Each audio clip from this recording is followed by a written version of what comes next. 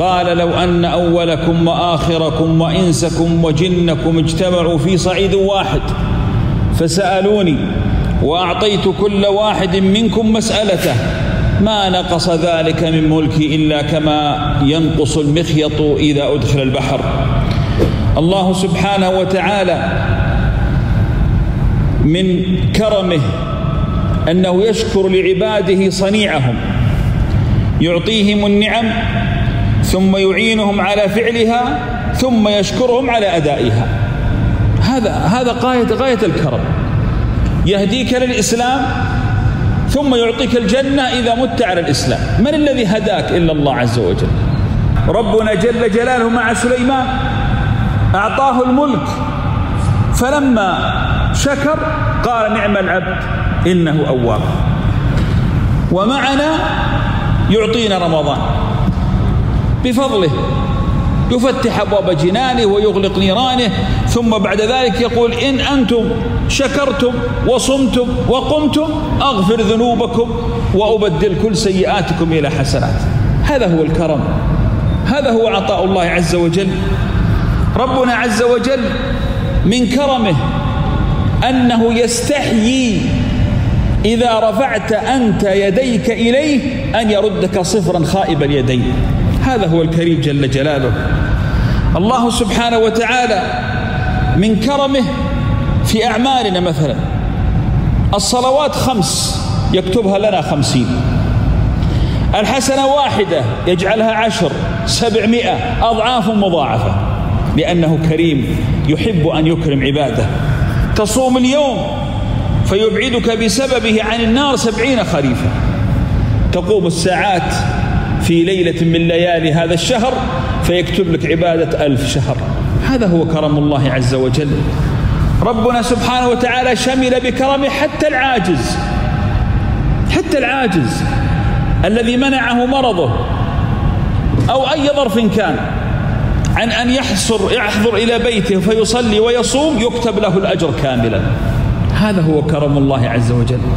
ولذلك بشرى لأخوات المسلمات بعض الأخوات يسأل لماذا كل الأحاديث عن الرجال؟ مثلا من صلى الفجر في جماعة فهو في ذمة الله حتى يمسي. طيب والمرأة؟ المرأة ما الذي منعها عن حضور المسجد؟ أنه ليس هذا مكانها مكانها بيتها. إذا إن صلت الصبح في وقتها فهي في ذمة الله حتى تمسي. وهذا وعد من الرسول صلى الله عليه وسلم. لماذا؟ لأن الله كريم. الكرم بس ليس فقط للرجال بل حتى للنساء. ما داموا هم عباد لله عز وجل. من كرمه أن الدال على الخير كفاعله.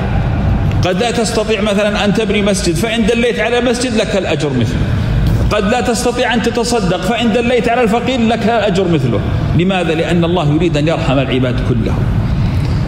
إني أتأمل في في كرم الله مع مع المذنب فأقول كيف به مع المطيع؟ كلكم تعرفون قصة الرجل الذي قتل تسعة وتسعين نفس.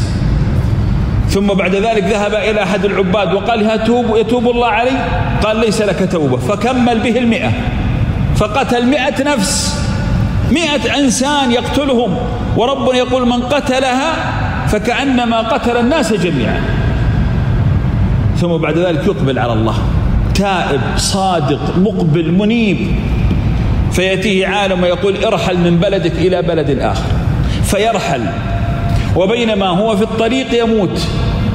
فيتخاصم ملائكة العذاب وملائكة الرحمة. ملائكة العذاب تقول قتل مئة نفس وملائكة الرحمة تقول أقبل على الله. فهل خذله الله؟ لا. هذا كريم. هذا عبد أقبل عليه. لا يمكن أن يرده. فيرسل ملك. احكم بينهم. فيحكم الملك أن تقاس المسافة. فإن كان إلى البلد الطيب أقرب يدخل الجنة. تأخذه ملائكة الرحمة.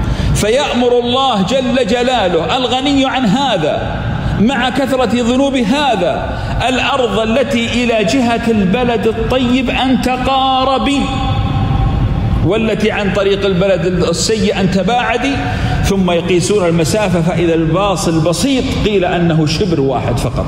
فتأخذه ملائكة الرحمة وتشمله رحمة الله. هذا هو الكريم. إذا فماذا سيعمل ربنا؟ ماذا سيفعل الله عز وجل؟ بعباد تابوا أنابوا قاموا صاموا صلوا. أبشروا يا إخوة. أبشروا فإن الله تعالى قال إن الذين آمنوا وعملوا الصالحات إن لا نضيع أجر من أحسن عملا. أحسنتم العمل واجتهدتم في الصيام واجتهدتم في القيام مرت الليالي والأيام راقبنا الله في صيامنا وراقبنا الله في صلاتنا والله لن يخذلنا الله عز وجل. وهذا هو ظننا بربنا سبحانه وتعالى.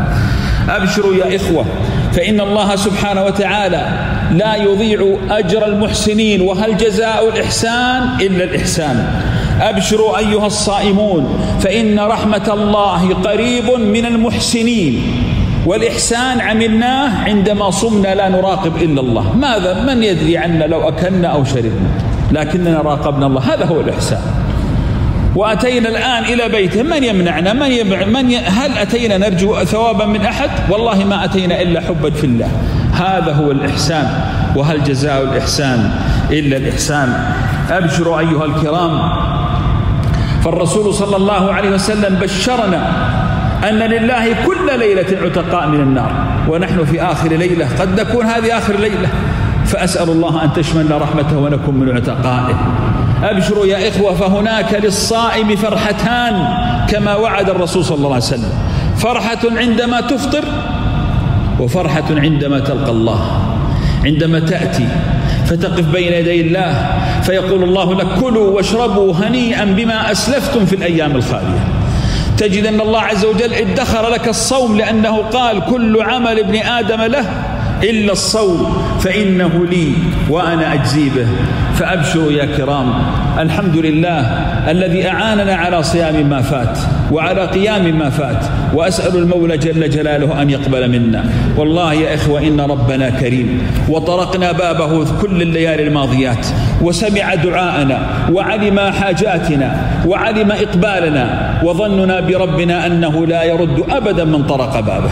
فأسأل الله ألا يخيب ظننا وأن يكون عندما عند ظننا به وظننا به والله حسن أنه كريم حليم عفو غفور يحب العفو جل جلال الله. الله عفو يحب العفو جل جلاله. فلذلك إخوة هذه آخر ليلة قد تكون. وداعا أو نقول لرمضان إلى لقاء بعد عام. لياليك الجميلة انصرمت.